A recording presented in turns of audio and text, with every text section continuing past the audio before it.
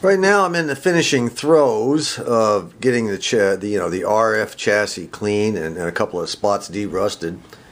Yeah, probably another 15, 20 minutes. I'll clean up all this and then give it a good uh, give it a good wash down with some with you know with a, a little bit of alcohol and, and this here brush. And then tomorrow morning, I'm going to go ahead and paint it. But before I do, I'll wash it down one more time, clean it all up with lacquer thinner. Once we get it done with you know paint it up with lacquer thinner I'll have everything taped off with paper and tape and everything except for that. And uh, we'll go ahead and put some primer on it. And then we'll go ahead and put some silver paint on it.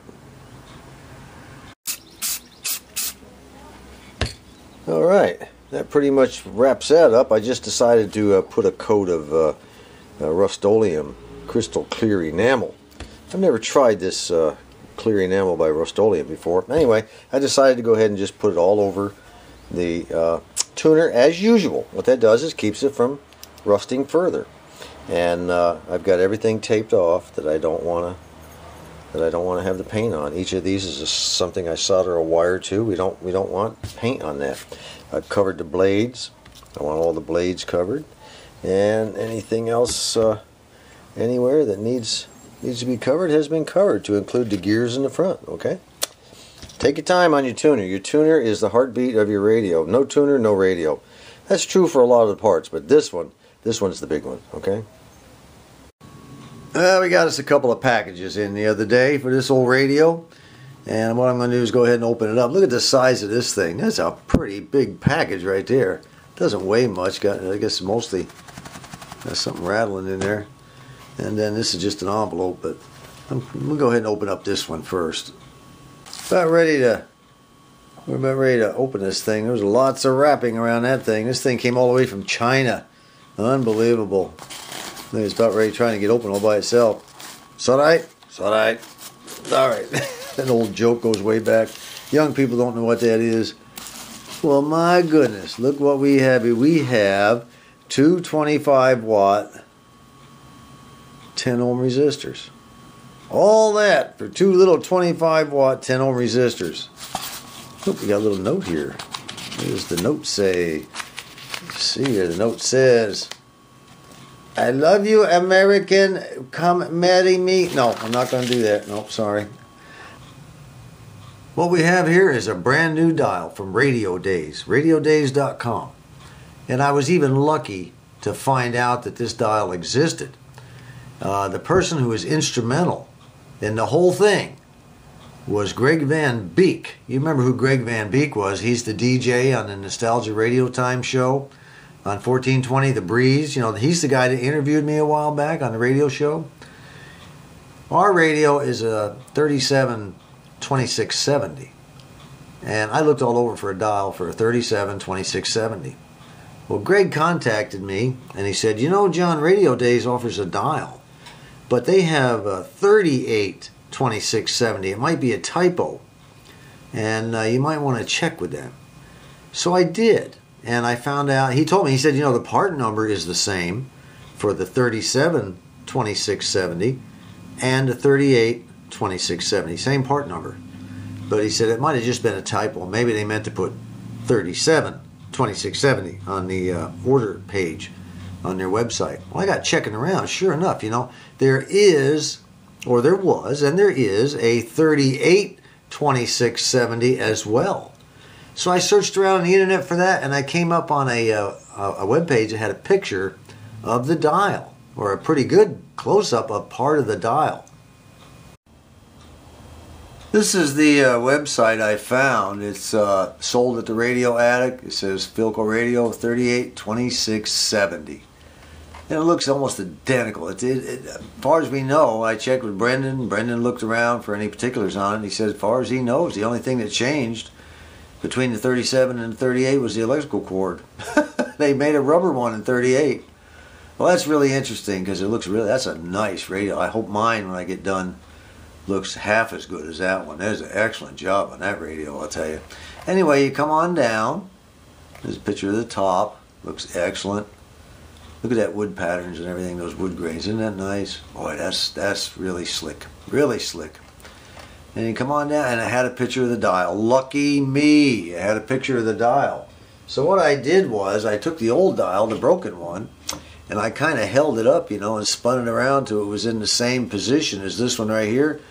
And everything lined up exactly all the way down to the five bands, all the way down. I said, well, well, well.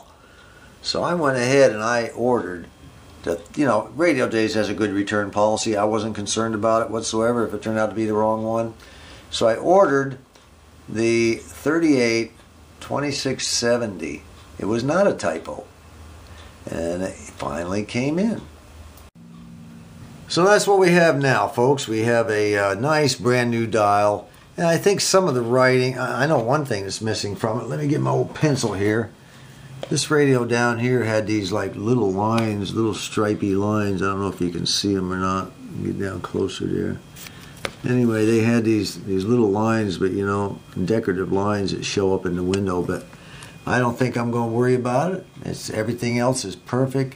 As far as I'm concerned, this is a done deal. Thanks to Greg Van D, uh, Beek and thanks to Radio Days. They did a great job on this dial. I appreciate it. We finally reached the point where we can start putting a little paint on this thing. Let's hope we can turn this uh, this thing into a nice looking flower. First thing we're going to do is we're going to shoot a little bit of this uh, light gray automotive primer on it. Let's see if we can't get back quite a ways here now when I do it. I don't want to get on top of it.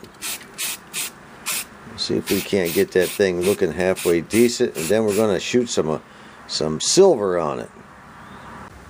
Incidentally, each one of these, the inside surface of each one of these clips has been taped off.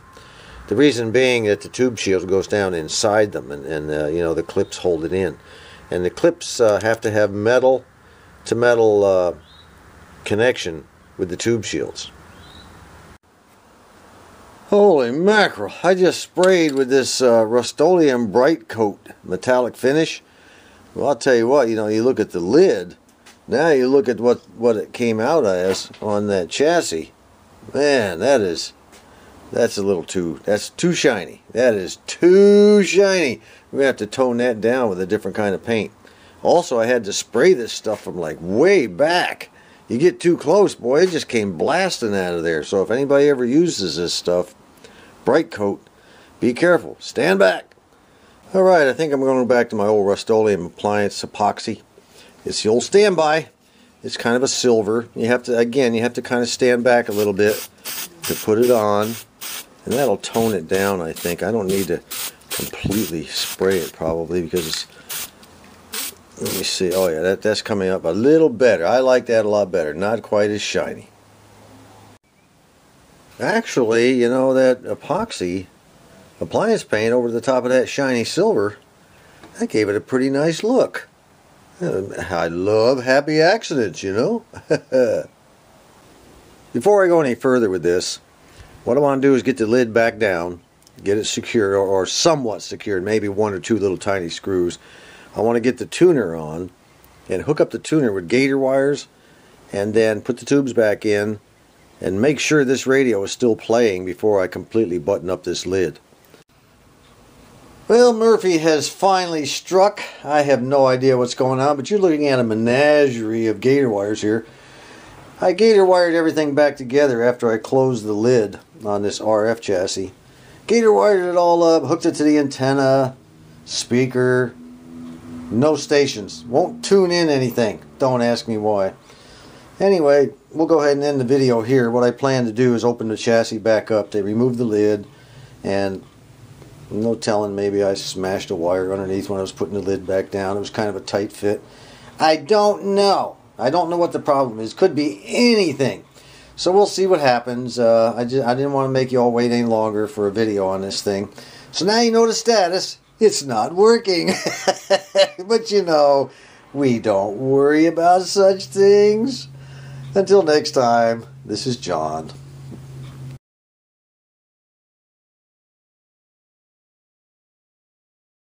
I kind of messed up. I was getting ready to answer a message that I received, and I cannot remember the name of the person who sent it.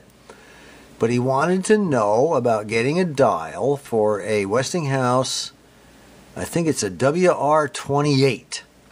Nice radio, by the way. and he wanted to know where he could possibly get one. You know, he said I've ordered dials. He was kind of wondering where where he could get one.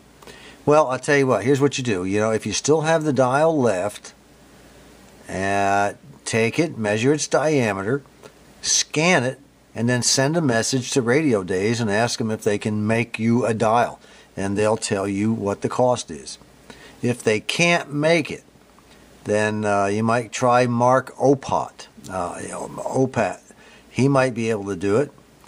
And if that doesn't work, uh, I guess you're probably the only the only thing you got left is to try to find a parts radio or find someone that has uh, one that they're willing to part with. Try the antique radio forum. I'm sorry that I, I, I, clicked on something here too quickly, and that's how I, I lost your message. I apologize for that. And so as not to end this video on a totally negative note, I want you to, not all, you'll notice all the gator wires are gone. Let's see what happens when I turn the volume up this time.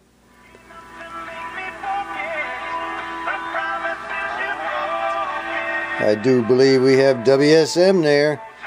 Let me get over here. That's really good. Plays really good now. Let's do a little tuning here.